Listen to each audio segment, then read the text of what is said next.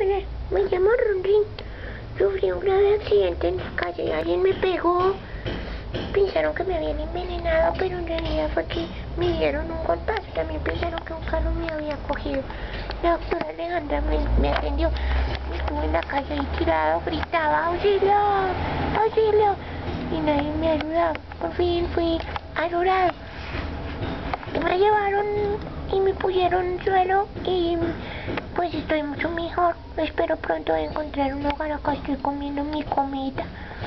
Todavía tengo un poco irritadas las pupilas, puede ser por un daño neurológico. Todavía no se sabe bien. No puedo ir al evento de campo de mascotas, pues porque todavía estoy enfermito y entonces así no, no puedo encontrar un hogar. Pero espero pronto recuperarme y poder encontrar un hogar. Chao.